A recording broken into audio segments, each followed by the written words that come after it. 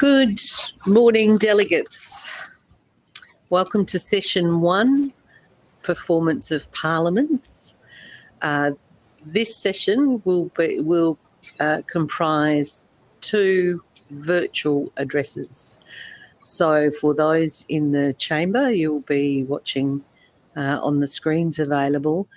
And um, hello to our online participants. It is fabulous to have you here. Before we start, um, I'm just going to talk about submitting questions uh, for those speakers. So all participants can submit questions via the live Q&A function on your mobile app uh, or from the conference portal on your device. There's a Q&A uh, button on your conference portal. Uh, you can submit those questions anytime during the presentation. If you're submitting questions electronically, I will select uh, the questions and ask them on behalf of online delegates during the Q&A question and answer session after the presentation. Uh, for those of you in person, you may seek the call uh, to ask a question in the Q&A session and you'll need to come to the podium at the table of the House. Is there a podium? Microphone. Yeah. Okay, good. Um, if there's more than one question from the floor, uh, please line up in order um, so that you can be called. Please pause at the table and wait for the red light on the microphone to come on before speaking and state your name and jurisdiction. Papers will be available on the conference website after they've been given.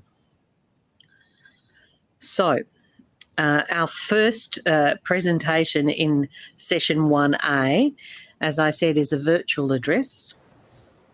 Uh, and that will be provided by the Honourable Joy Burch. Joy is the Speaker of the Legislative Assembly uh, in the uh, ACT. She was first elected to the Legislative Assembly in 2008 and has served on a number of committees and, and has held several ministerial positions. She served as Deputy Speaker, becoming Speaker of the Legislative Assembly for the Australian Capital Territory in October 2016. Since February this year, she's been acting chairperson of the CPA small branches, following the resignation of the previous CPA small branches chairperson, the Honourable Nikki Rattle from the Cook Islands. Joy was at the, t- at the time the vice chairperson of the CPA Small Branches Steering Committee, so assumed the role of acting CPA Small Branches chairperson until the next CPA Small Branches uh, conference. Today, Joy will be speaking about law in the time of Corona, optimising parliamentary functions during long term crises. Welcome uh, to the Honourable Joy Burch. Thank you indeed, and it's a pleasure to join friends and colleagues again in WA whilst I'm based here in Canberra. I'm sure that you will have a wonderful uh, CPA conference over on the west side. May I start with our traditional acknowledgement of country. Darawa Nuna Darawa Nanawo. Naraweri, Duni Manyan, Nanawaweri, Darawaweri. Nengindi, Dindi, Darawa, Narawobun, Linjimara, Lejinyim. We started a traditional acknowledgement here in the Assembly about 18 months ago, and I'm very pleased to be the first Parliament in the Australian to do that. But as you know, we're here presenting papers, and my paper today is The Law in the Time of Corona Optimising Parliamentary Functions During Long Term Crisis. And I'd outline how the ACT Assembly approached parliamentary functions and oversight during the COVID 19 pandemic.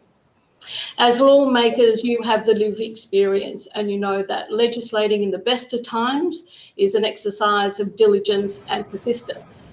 But in times of crisis, it does test the mettle of even the most parliamentarians. While experience shows it's conventional for parliaments to yield greater power to the executive governments during crisis, this works for the short term, but it is unsustainable to maintain this imbalance of power over a longer term crisis such as pandemics. It's valuable just to reflect briefly on what is it about long that lead to these challenges.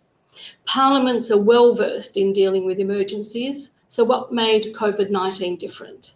I believe the source of the issue lays in the distinction between response and recovery.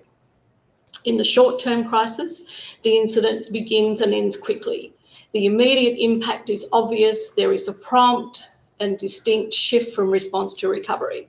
This allows a clear reset of temporary authority that was yielded to the executive government, restoring effectively the balance of power. By contrast, though, long term crises such as COVID 19 are drawn out over weeks and months, and the impact continues to evolve. The changing and extended nature of these emergencies blur the line between response and recovery, often requiring them to occur at the same time. The blurring and the absence of a distinct end to the response period unclear when to restore the pre-crisis balance of power. I'd like to share our experience in supporting parliamentary function and oversight without, without jeopardising, though, the executive's capacity to respond. I'll do this in reference to three unique challenges that parliaments face during these long-term emergencies. That is executive overreach, legislating by delegation, and the technocratic accountability. Let's look at executive overreach. The reason for yielding authority to the executive governments during long term crises is to enable them to respond effectively.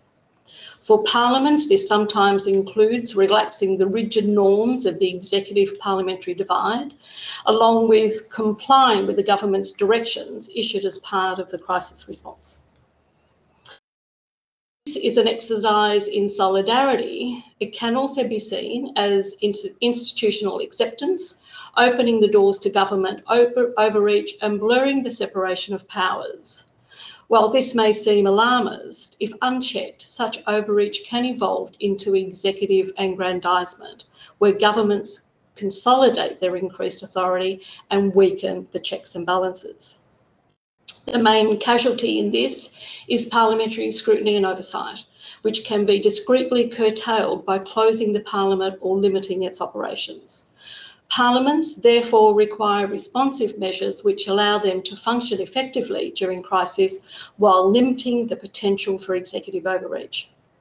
One important way is preserving the capacity for the parliaments to sit during these emergencies.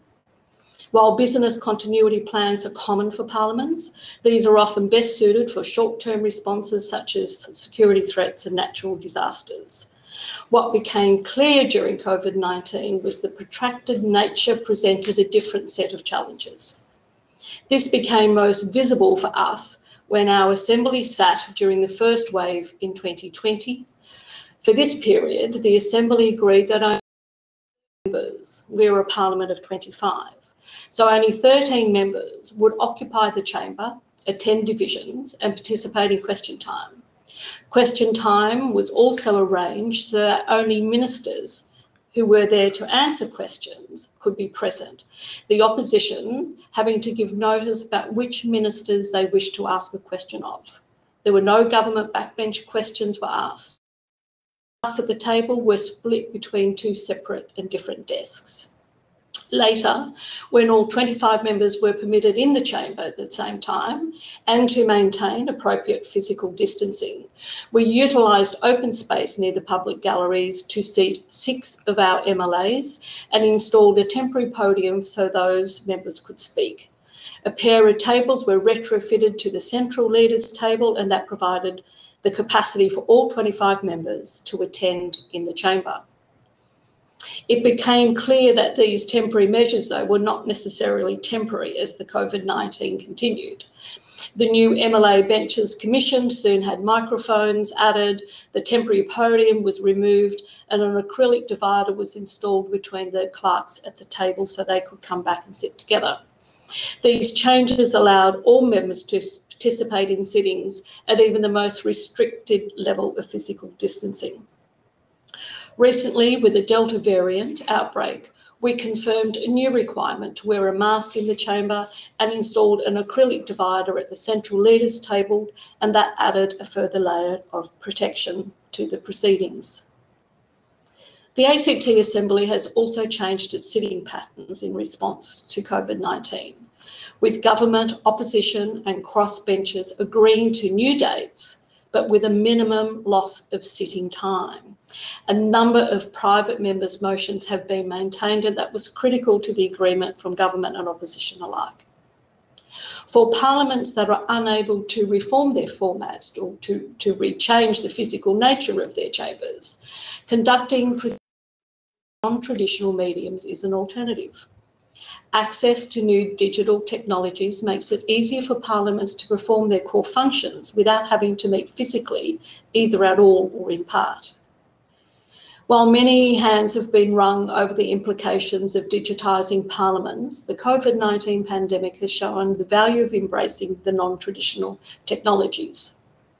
As noted in my paper, such challenges and solutions ought not to be used as an excuse to deny members and parliaments their constitutional rights and obligations to carry out their functions. As we were able to reformat our chamber, our assembly hasn't had to use remote voting or conduct sittings with mixed or full virtual participation, and I'm aware that many other parliaments have. As we all know, the parliamentary chambers are not only the place of accountability, our committees have successfully shifted to conducting virtual meetings and hearings, allowing standing committees to continue to scrutinise the government. It ensures that the focus of the crisis doesn't lead to the limited oversight of policy and decisions that would be subject to parliamentary process in normal circumstances. These are already the detailed inquiry arm of our Parliament. Meeting virtually allows them to continue to compel and question, regardless of whether the executive closes Parliament or not. Now, turning to legislation by delegation. Governments rely on increased legislative powers delegated to them during crisis. These so called emergency powers executive to make and amend regulations and directions outside of the normal parliamentary legislative process.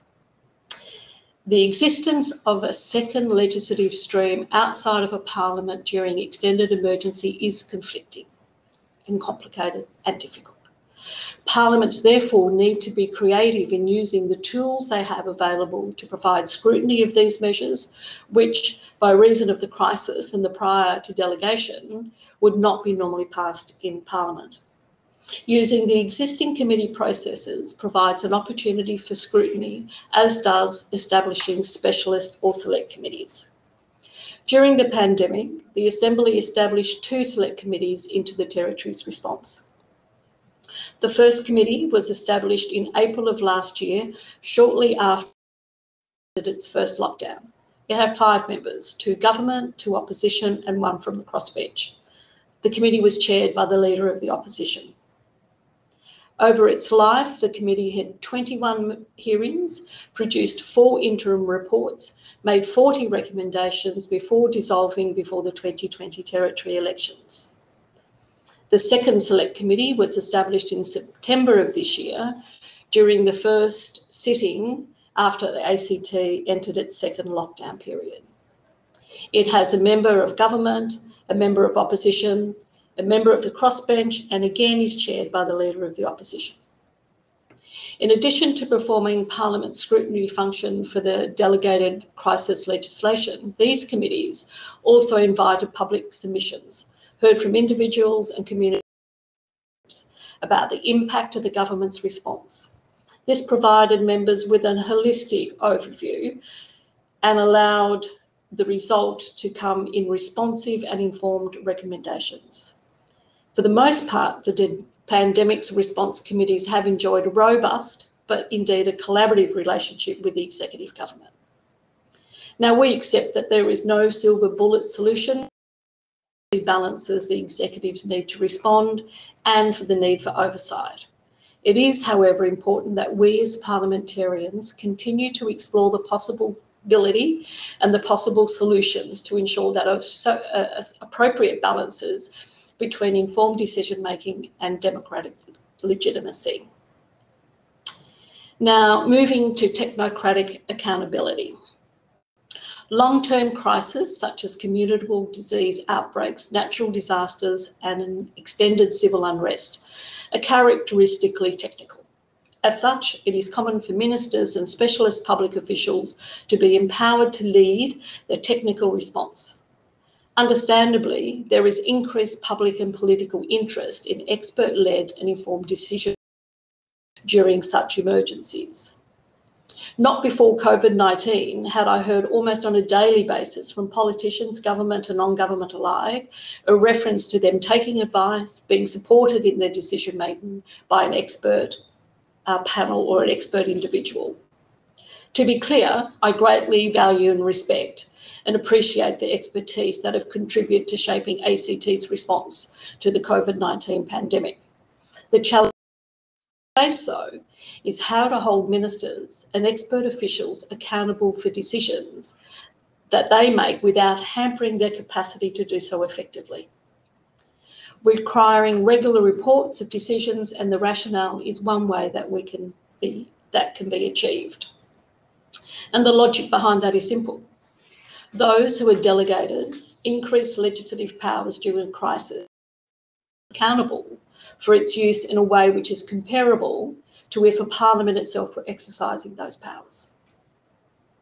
There are a range of mechanisms available to do this, including specialist committees, as I've discussed earlier. In addition to this, the ACT Assembly legislated a requirement for a report to be presented in the chamber every month for as long as the emergency powers were in use.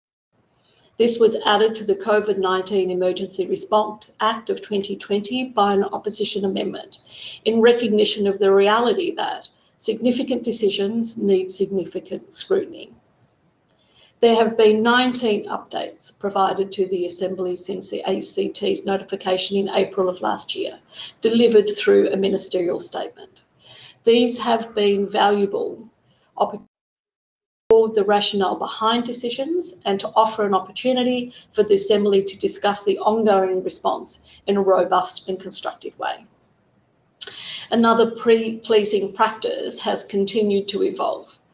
Recently, the first human rights consideration statement from the Chief Health Officer presented to the Assembly by the Health Minister as part of the regular update.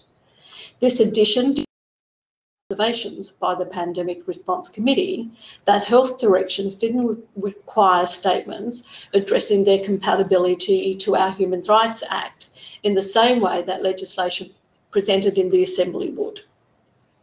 It's yet another example of how institutional flexibility can help optimise parliamentary accountability during these extended crises. So, just a short overview of some of the ways in which the ACT Parliament can optimise its functions during a long-term emergencies with reference to our own journey. Uh, but we know that each Parliament responds, how it will respond is unique to its political and constitutional realities. However, the challenges that our institutions faced are shared. Though we here in the ACT are a young Parliament, I hope can be gleaned from our experience as a stronger, more resilient parliaments make for stronger and more resilient democracy. I will leave my paper there. It's a shortened version of what is in your papers, but I'm happy to move to question time. And I will be joined by my clerk, Mr. Tom Duncan, who's wearing a very dapper hat because it is Melbourne Cup and he's already ran a few sweeps. Um, and he will be distracted come about three o'clock, I suggest. But happy to take questions, Madam Chair. Mr Duncan.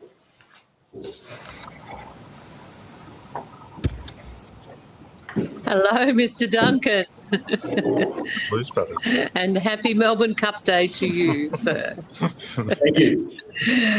Um, uh, thank you very much, Joy, for um, a, a, very um, detailed oversight uh, of uh, the arrangements in the ACT.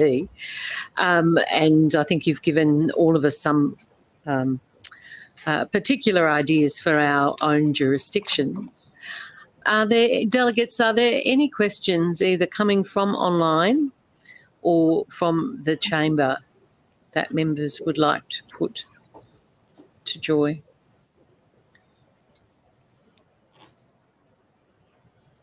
Uh huh. Thank you, the Honourable Michelle O'Byrne. If you wanted to come to the lectern, oh, to the table, is it? To the table. To the table. I Thanks. just really wanted to comment on Tom's hat. Putting the fact that he's wearing black on black to a side. Um, I was actually interested in the human rights um, submission that was made to the Parliament. We haven't done anything along those lines. So, have you got any um, any detail or any information around whether that was something that was uh, simply an update or whether there was an opportunity to debate it and how it informed any other policy decisions. Thanks, Michelle. Go ahead, Joy. Yeah, no, thank you, Michelle. Um, we, we have a Human Rights Act here, and any uh, bill that's presented, any legislation that's presented, has an accompanying human rights statement. But through the emergency powers and if all this this you know delegated response through uh, alternate powers that was not um, necessary or needed or accommodated and it became very clear particularly through the second select committee that any other bit of law or direction would have to have that. If it was presented to Parliament as a routine bit of business, it would come with a human rights compatibility statement. And so, hence, there was um, quite a vigorous non executive position to say the executive should accommodate, including uh, in its regular statements, a human rights compatibility to any new direction. I don't know if that answers your question, Michelle, Tom. Uh, yeah. Michelle is nodding that it has, but Tom, if you'd like to contribute to that, of course you're oh, welcome. No, I think Madam Speaker has answered it perfectly. okay, thank you. Um, members, are there any further questions? There's nothing coming in online. We have one. We have one from online. Ah, Senator Sue Lines, hello to you. Um, Senator Lines has said some of the key principles Joy outlined are similar to the arrangements we've made in the Commonwealth Parliament. Do we think our responses across Australia's parliaments have been similar? Noting, of course, there are some quite distinct elements which the ACT has enacted that the Commonwealth has not. So the question from Senator Lines is do we think our responses across Australia's parliament have been similar? Joy, um, who, would like to respond I, to that? Gonna, I'll take the, the yes and the no um, response to that, and I will defer to Tom as well. Because we were able to get our 25 members in by nature of being a small jurisdiction and a small parliament, we could accommodate that. But I'm very much aware, federally, for example, that um, it is routine for them to operate from a mix of virtual and in presence uh, participation in debate. But if I'm not mistaken, recent debates in the House of Reps, as is their agreement and standard practice, I'm not saying it was unusual, but those that were virtual, not able to participate in vote, yet there's a different arrangement in the Senate, is my understanding virtually, virtually attending the Senate, you can still vote, but the arrangements are if you're virtually attending the House of Reps, you'll, you cannot vote. Um, I think it is something that it's worthy of a discussion broadly um, beyond this Q and A for parliaments across Australia to consider. How, how, what is the uniform response to that? And it goes to one of the comments in my paper is about you, you could you can get fix it, you can get workarounds, but none of those workarounds should underscore or take away the legitimate obligations of members of parliament to participate and vote. Okay. Uh, yes, Senator Lines, I just wanted to respond by drawing attention to the last uh, paragraph of Madam Speaker's paper, where she says, um, well, how each legislature responds is unique to constitutional realities. And I think you point out quite correctly that uh, parliaments have responded differently um, because they have different political and constitutional realities across Australia. And um, so Yes, we, we've done it a certain way, but um, we're a unicameral parliament, a small parliament. We were able to expand the size of our chamber to fit all our members. We were able to establish those two select committees, chair. Other parliaments have, haven't been able to do that for various reasons, but um, yeah, so there are there are going to be different responses, I guess, all across Australia to how how they deal with the pandemic. And through our lockdowns, while we've lost some sitting time, it's actually we've got it to a minimal. And part of that arrangement was, um, you know, supporting the opposition to maintain their um, private members' debate opportunities as well, which was which they consider a key element of keeping the executive to account.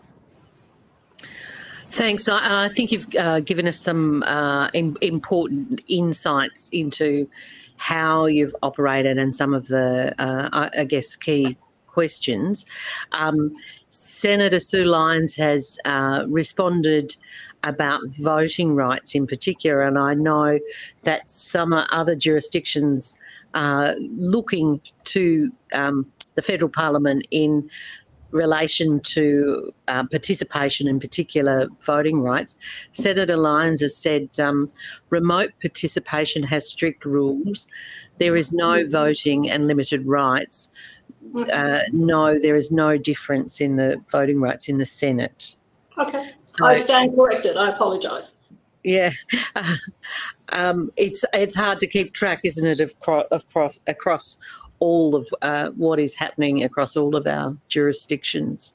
But uh, you have provided some really important um, uh, understandings for us in terms of your process and the, the key things that we as parliamentarians need to take into account in times of crisis and otherwise. Uh, are, are there any further questions? Uh, the Honourable Jackie Jarvis, come, who's uh, on the floor, so she'll come to the speaker's stand. Go ahead. Uh, so my question was obviously we we have a system of government where we we allow the executive, you know, in times of caretaker period to to keep government ticking along, um, and I certainly know that um, you know in the past when that period might have gone longer because of a hung parliament, the the general consensus from the electorate seems to be that it just ticks along quite nicely without um, any of us politicians involved. Did you have a timeline in in, in mind as to when you needed to have these in place, or or did you have a, a playbook, or was it just um, sort of uh, yeah try to implement things as you went along?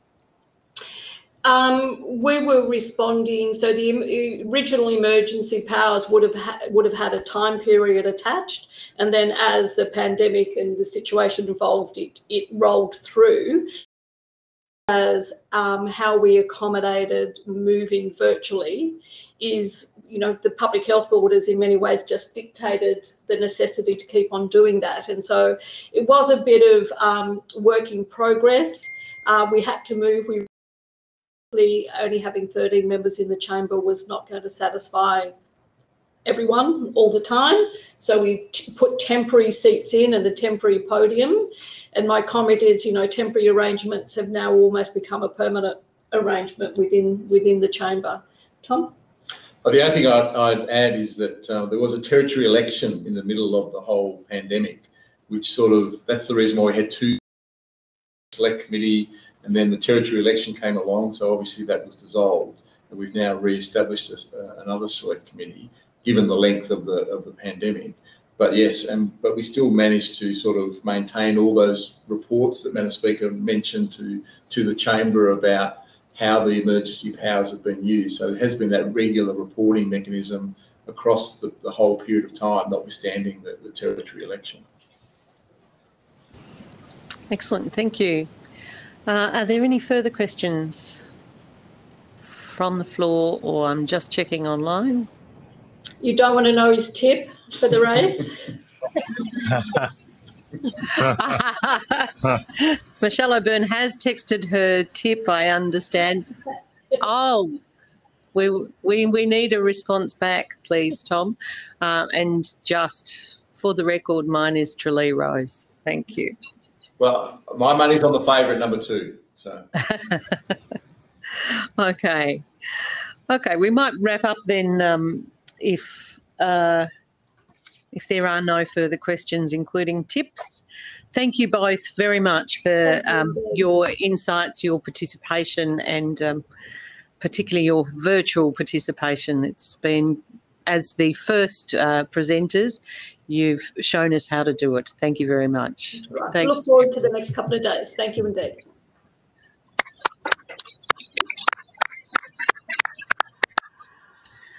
Okay, let me just check, members, uh, how we're going for just running a minute or two ahead of time. I just wanted to make sure that we. Ah, I know what it is. The chamber clocks are different from the real time. And the chamber clocks are uh, um, a minute behind the rest of the world. So we move to session 1B, uh, which is another virtual address. And following the virtual address, we'll again have a question and answer uh, session. This um, presentation is from the Honourable Adam Searle, who's a member of the Legislative Council in New South Wales. Adam has been a member of the Legislative Council in New South Wales since 2011. In 2000, uh, he commenced practicing law as a barrister. He's still a member of the New South Wales Bar Association and continues to practice as a barrister, providing pro bono legal advice and representation in uh, public interest litigation, particularly matters involving claims for asylum. Today, uh, the Honourable Adam Searle will talk about the accountability of government during COVID-19 pandemic. And there you are, magically appearing on our screens. Adam, it's good to see you. Uh, so, um, please, um, Adam, would you like to commence your address on the accountability of government during COVID-19 pandemic? Thank Uh, you. Yep, let's- I'd certainly like to uh, commence by uh, recognising that I am today on the lands of the Darug Gundungurra peoples uh, in the Blue Mountains west of Sydney. Um, and I'd like to pay my respects to their elders past and present and emerging. Um, the way in which these presentations are being given is very, I think, symptomatic of the time of COVID where uh, online platforms and Zoom meetings seem to be the order of the day uh, rather than in person, uh, which of course is regrettable. But I think the the existence uh, and availability of technology uh, to assist us uh, is certainly better than nothing. The topic that I'll be speaking about is very similar to Joy's, but from a slightly different perspective, focusing on the accountability issue. Now, governments are elected to office for limited periods of time and they're given enormous powers and authorities, but periodic elections by themselves don't make a democracy or even a liberal democracy as we like to think of it. Between elections, if governments are to work as well as they can, they must be open to scrutiny. Of course, that's by the parliament through mechanisms such as question time, the work of committees, analysis and making of legislation, and of course by the community being able to interact with their elected officials and being able to meet with them and try and persuade them about matters of public affairs. But of course, we mustn't forget the media. Without a strong and functioning media, governments can also quite easily escape scrutiny. And all of these things, of course, have been, I think, significantly impacted by COVID. Um, obviously, the adjournment of parliaments, coupled with the transfer of executive decision makings to ministers, does heighten the risk of both corruption and poor decision making, as well as limiting the ability of members of parliament to fully represent their constituents. Uh, and of course, uh, constituents being able to interact with their elected representatives. So there is a risk of poor decision making, or possibly worse, through this concentration of executive power. However, um, focusing that power in the hands of the executive at times of crisis is inevitable if we're to keep government working. So it's getting that balance right uh, is quite important. Um, now, one of the uh, the impact, of course, of COVID on the community has been significant. It's enormously impacted the way individuals, communities, businesses, and governments work. Uh, obviously, for, for those who have retained their work, there has been increased hours of work, increases in unpaid work, Uh, for example, the Centre for, Centre for Future Work has, a has a, assessed that uh, the unpaid work of Australians has extended from six weeks unpaid work last year to nearly seven weeks of unpaid overtime this year. That's nearly $100 billion worth of uh, additional work uh, that people have performed but not been paid for. We've also seen the intensification of work, more output being expected without any increases in remuneration. And of course, because of technology, we've got this continued blurring of the dividing line between work and personal and family time driven by new, new technologies, and of course, compounded by the fact that those who retained their work were performing so much of that work, or even exclusively, at home. That is, they weren't so much working from home, but really living at work. And we see reports of the social and mental health impacts of this uh, being quite significant. Of course, we won't get a proper appreciation of that over time, um, but uh, nevertheless, it is very real, as I'm sure all of you talking to friends and neighbours and children uh, will appreciate. At the same time, uh, there have been people who have lost their work. Uh, there have been significant downturns in key industries like construction uh, and retail and others. Um, and we have seen, at least in New South Wales, the concentration of those job losses in West and Southwestern Sydney, which have also been the COVID hotspot areas. And those regions have lost a quarter of a million jobs during the lockdown period over the last year. That's uh, a very significant uh, impact. Uh, these areas have been the subject of the greater uh, restrictions on mobility during the pandemic. Uh, and of course, uh, that comes with a significant psychological impact as well. At the same time, we can't be ignorant of the impact on the media landscape. Uh, we've seen saturation coverage by the media of COVID during last year. Uh, up to 80% of all media stories at different times were COVID related. And this has been reinforced by political leaders having daily press conferences with their chief health officers. And these daily press conferences have become a, a key source of information for both the media and the community. Um, I don't know whether anyone can see it. I'm happy to provide the link later, but there's a very good uh, paper put together by the media monitoring company Streem and, of course, the News and Media Research Centre at the University of Canberra, looking at covering COVID 19, how the Australian media reported the coronavirus pandemic in 2020. And the uptake of, uh, or the, the summary of that is that political leaders, health experts, and jo- journalists all worked together to really promote health news about the pandemic. Uh, unlike, for example, in America, there was a very strong consensus amongst health officials, public officials, governments of all stripes, and the media about the need to deal with the pandemic resolutely. Uh, and this has really seen a, a lot of media uh, perform a sort of civic journalism role, uh, loyal facilitators of health information. Um, but this does seem to have come at a cost of the role of the media as a watchdog. There has been a, a narrowing of the range of political issues, at least initially covered by the media, a lack of interest in political reporting of you of the genuine of the of the usual cut and thrust of politics, but that then seems to ease come August of last year, and then when we look at what's happened since, uh, using uh, the media company Isentia's reports to the New South Wales Parliament, we can see that COVID has settled down to comprising about 20% of all media reports. Um, so far less than the 80% it reached last year. Um, but what we have therefore seen, I think, is um, a real focusing on health, promoting health solutions, promoting the public health orders uh, where there have been restrictions on people's ability to move um, in order to really tackle and deal with the pandemic, which I think is a really good thing.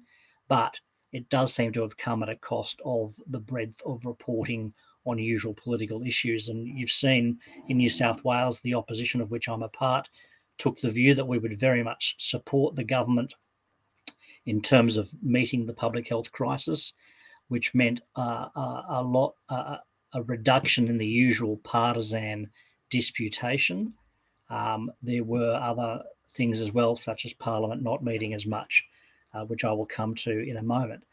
Um, now, obviously, at some point in time, uh, that will resume, and it, it, it is already. Um, but the impact on key institutions like the Parliament shows that it hasn't been immune from the impacts of the pandemic. We've seen um, parliaments uh, not making laws, not necessarily controlling state finances as much as they used to, giving the executive uh, a huge, uh, uh enormous additional authority, often through legislation. Uh, in New South Wales, for example, we we saw a reduction in the sittings of the parliament by about 20%, and I think uh, the federal parliament reduced its sittings by about 30%. Now, this is not quite as bad as during the Spanish flu pandemic, where the Parliament of New South Wales didn't meet for eight months. Um, however, there has been a longer gap than usual between sittings, but we've been able to use changes to practice and procedure and technology to enable uh, our Parliament to keep doing its work. Now, the New South Wales Parliament's research service has done a, a very useful brief on how the Parliament has adapted um, to, to that um, and that link can be provided. But what we see is uh, in, in New South Wales, not only do we have lesser sittings, but in the lower house, I think similar to the ACT, we had a situation where there were fewer members in the chamber, only about 23, um, and the public was not allowed in. Uh, in the upper house where I sit, we did we were able to uh, keep again a, a, smaller number of people through a representative sample, working with the government as well as the opposition through pairing. Uh, this was made more difficult with the crossbench in both houses uh, because in the New South Wales Parliament, the crossbench are not part of the pairing arrangements. And this has really made uh, that uh, discussion enlivened again. Um, I believe in the Senate, in, in, the Commonwealth Parliament, there is pairing involving crossbenchers. Uh, the government in New South Wales has been traditionally resistant uh, to doing that, but nevertheless, I think uh, the time to do that uh, uh, has has come upon us. Uh, as I said, we we lost about twenty percent of our sitting days last year. the New South Wales Upper House did recall the Parliament for a day uh, uh, for three days last year in in September, uh, but that was pursuant to new arrangements that the opposition and crossbench had put in place. So we felt that the period between parliamentary sittings had become too great, and there were significant matters of public interest that needed to be discussed. And so we we did use those mechanisms to recall the House for those three days. Uh, the lower house, of course, being controlled by the government of the day, uh, did not do so. This year, we've also seen uh, during this additional lockdown more days lost, but there is a uh, an intention to try and do uh, catch ups later in the year uh, by sitting additional days, sitting uh, on Fridays, for example. Um, in terms of some of the particular mechanisms that have been mentioned by Joy, um, we in New South Wales didn't move to a hybrid model. We were going to uh, in uh, September of this year, at least for the upper house, uh, having a combination of members coming in person uh, and some members being able to participate virtually. Um, but that didn't happen because the government decided that the risks of COVID were so great that it wouldn't sit the lower house. In the upper house, uh, our our rules required that at least one government minister or parliamentary secretary uh, must be present in order for the House to meet, and the government did not provide one of those, so we were not able to meet. Uh, uh, the upper house has since remedied uh, that arrangement, and that is no longer, well, that requirement is still in place, but it can be can be abrogated. So we've got a situation where we didn't get to do uh, the hybrid uh, model that is seen elsewhere. I believe the, the Senate, the House of Representatives, and the Victorian Legislative Assembly, as well as the UK House of Commons, did adopt various forms of, of hybrid models of sitting. Um, in in the United Kingdom, for example, that didn't just extend to a hybrid chamber, but extended to proxy voting, where members allowed a colleague to vote on their behalf through, for example, through the, the party whips, as well as the use of social distancing. Uh, different versions of this, I think, we've seen in the Scottish Parliament and in the Welsh Senate, where you've got at different times there's either been less attendees in the chamber in person, uh, there's been proxy voting, and eventually, both in, in those two devolved parliaments, they have developed a system of permitting members to not just participate virtually, but are also being able to vote uh, online.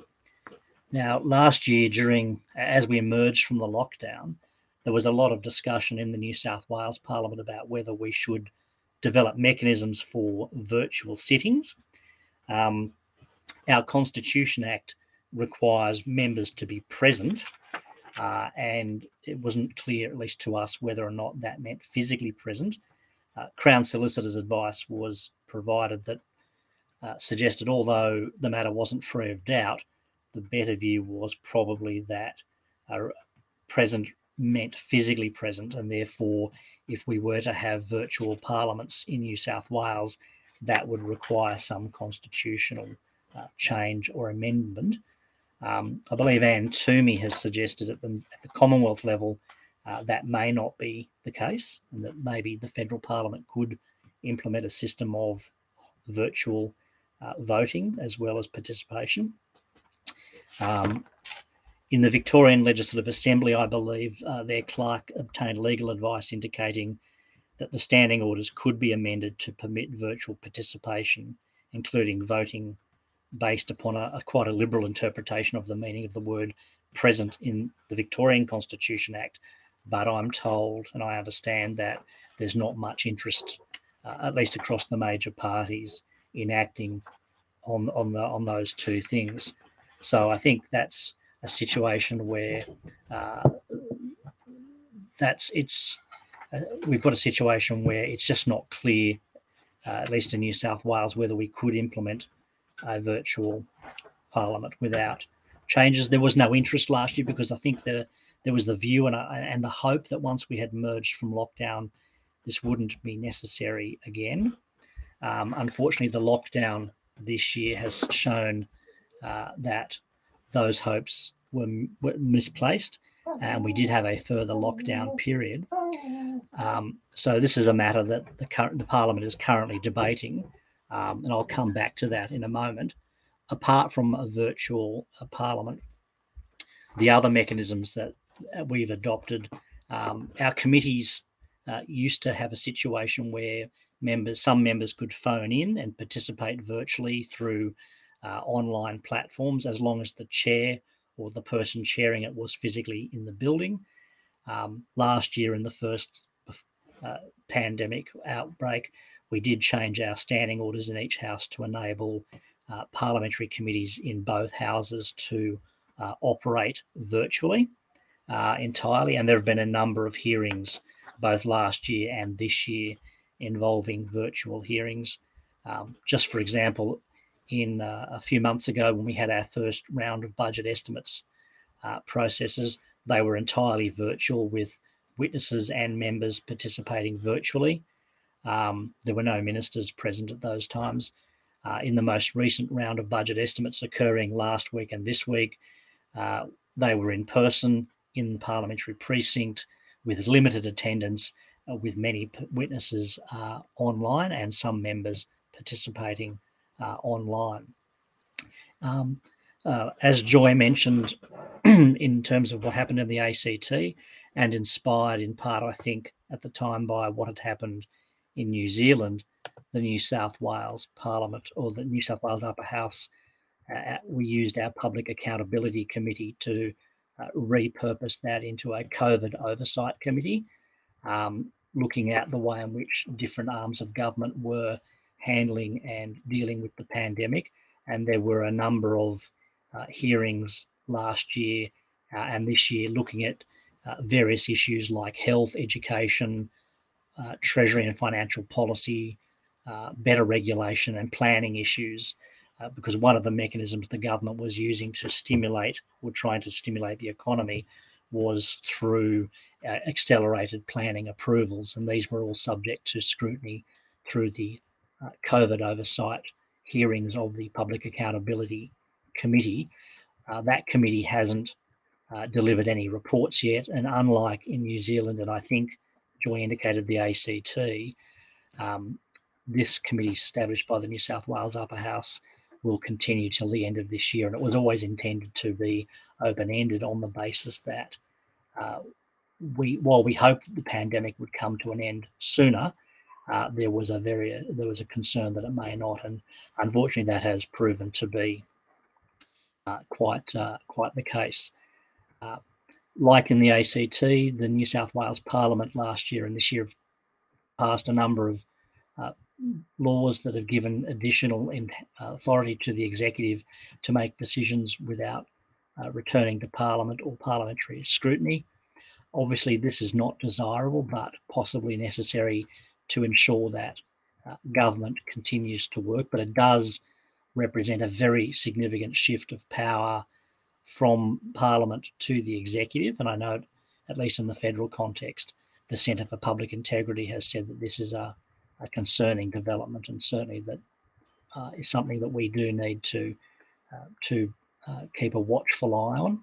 We also passed legislation enabling the Treasurer to, uh, without returning to Parliament and without the delivery of an annual budget, to uh, make necessary expenditures. Again, not a desirable situation, but one that was necessary in the circumstances where our annual budget last year was uh, delayed for several months. But we wanted to make sure that the ordinary operations of government and government policies uh, were able to keep being pursued and implemented, not just to make sure the government kept working, but to, to not stymie the government's efforts to stimulate the economy.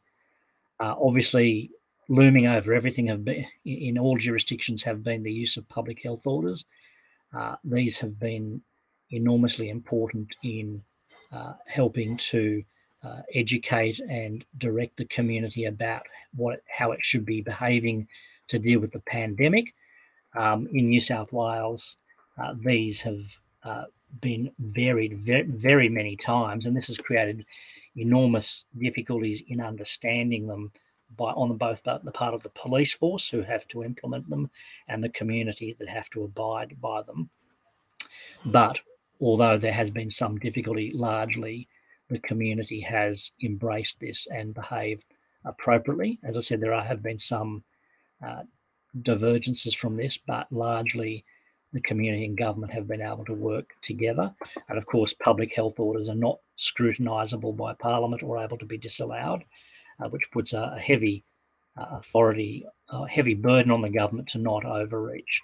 Um, turning very briefly, and I will just conclude on this to the issue of the virtual parliament, which of course looms large.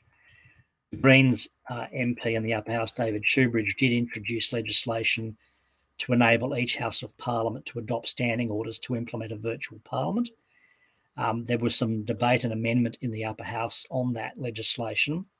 Um, One Nation moved a successful amendment to ensure that only video links would be used, audio visual links, not just people coming in by audio only. And this was because of concerns to ensure that only the member concerned spoke and was to vote and the Labor Party also, of which I'm a part, put up an amendment which I moved, which uh, requires the presiding officer of the relevant House to determine that it would be impracticable for the House to meet due to an emergency, an emergency of a kind of a pandemic, a natural disaster, a terrorist attack, or the like, and also that there must be a majority of members consent to an audio visual parliament. Uh, um, so that's a, a very important um, qualification because uh, even those who promote innovation do not want to divert from the, the default being Parliament must meet and debate in person and vote in person.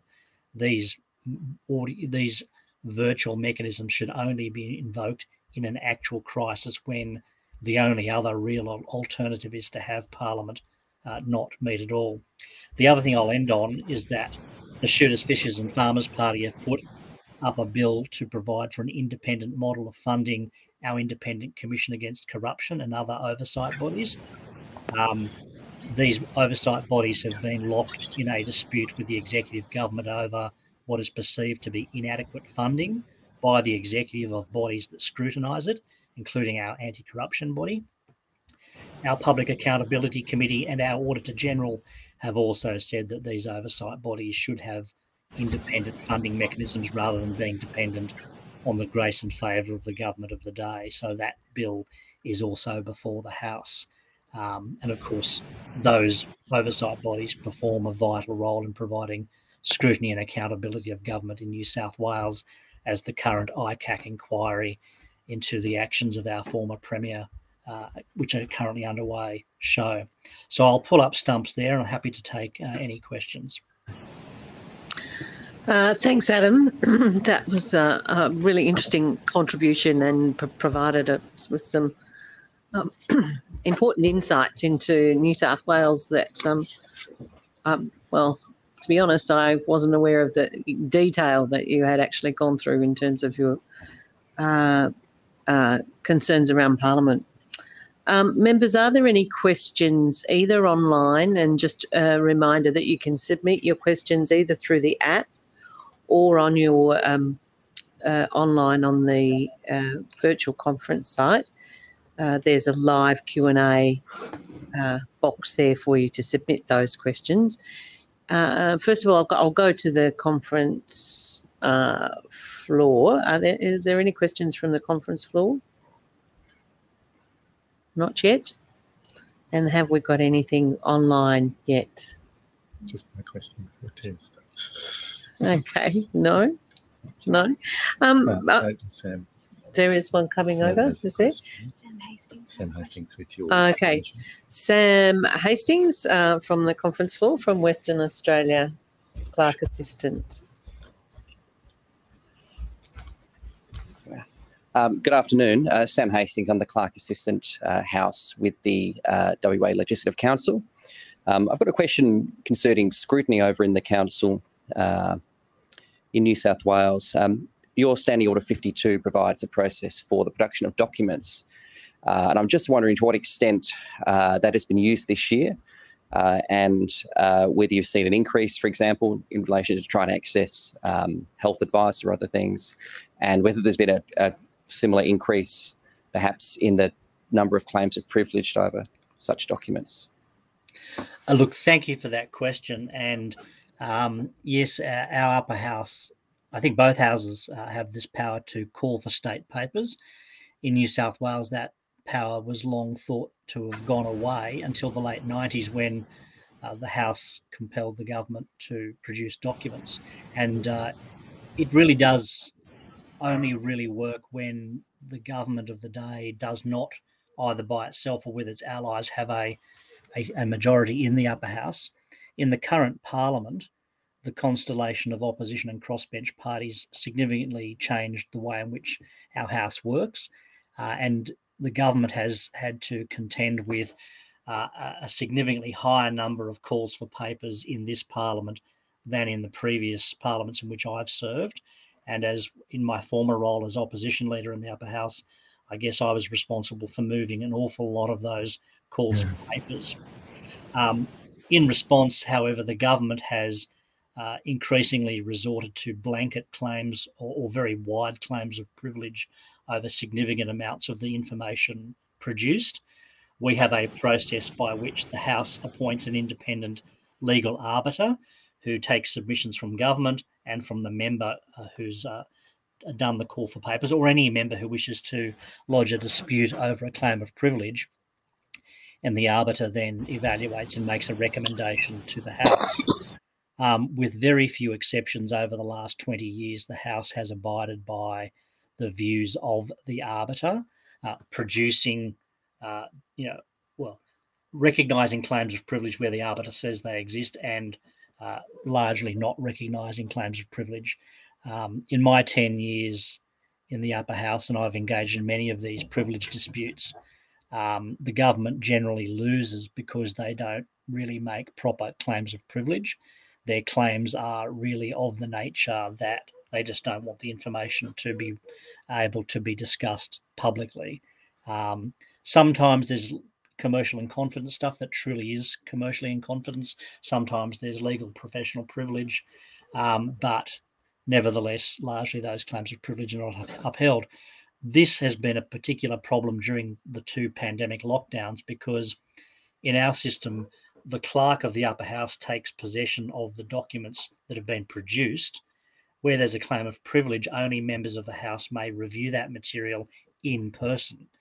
And of course, during the lockdowns, members have really been restricted in being able to come into Parliament to review those documents. Although members uh, have been recognised as, as essential workers, many of us have felt reluctant to put the staff of the Parliament at risk, or indeed our own staff, by coming in and to review these documents. So there was large periods of time this year and last year where privileged material was not reviewed by members, and that has delayed the processes of lodging disputes and having disputes determined and then having information brought into the public domain. So that is something that would be remedied if government would agree to producing calls for papers uh, electronically. Uh, there is currently negotiations underway between our Premier's Department and the Clerk of the Upper House, but that process has been ongoing for many years.